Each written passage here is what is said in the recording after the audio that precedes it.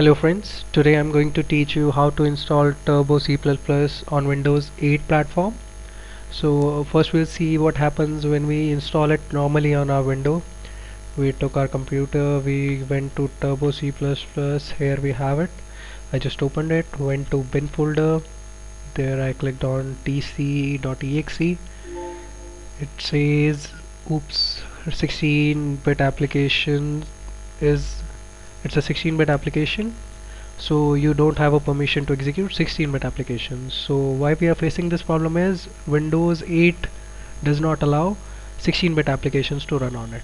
So what we'll do we'll just download a 32-bit application for a Windows 8 this link I have mentioned in the video description I'll just copy it go to browser just paste it enter okay so it opens the download page for this video. So we have download links download Turbo C++ for Windows 8 and Windows 7 download Turbo C++ for Windows 7 download Turbo C++ for Windows 8 similarly for Windows 8.1 and Windows 7 so what I'll do I'll just download it for Windows 7 because I have Windows 8 on my PC so we'll download it for Windows 8 I just clicked on it. It's opening the download page for the software. Here we are. So we have the download page here for this software. So what we'll do huh, yeah. So we'll just click on regular download.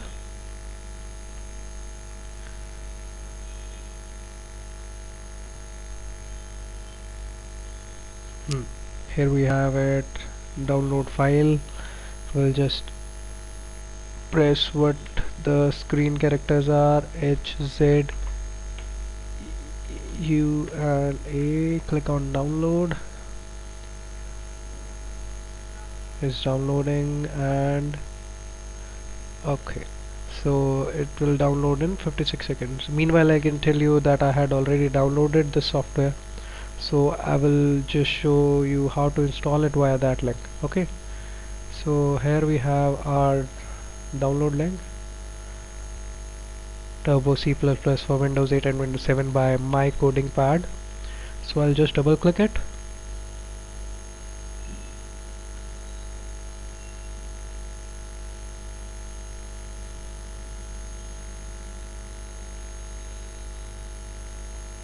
uh, it's just opening this installer application.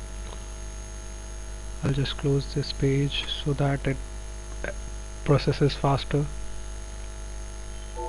Here we are. I'll just click on yes. Here it opens. Welcome to Turbo C++ I click on next. I accept the terms of license agreement. Next. I don't wish to download them. I'll just click on these things I'll just agree. Okay I agree and I do not wish to install it. So what I did next C slash turbo C++ install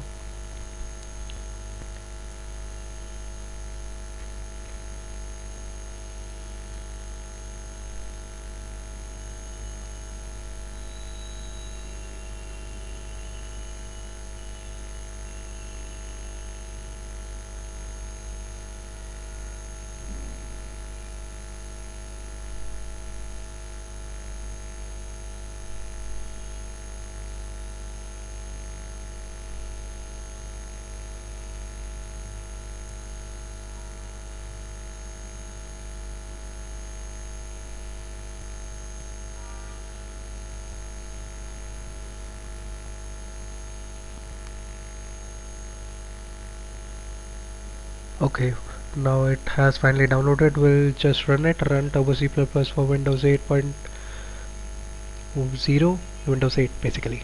Finish. So yeah here you can see. Your c++ windows is running.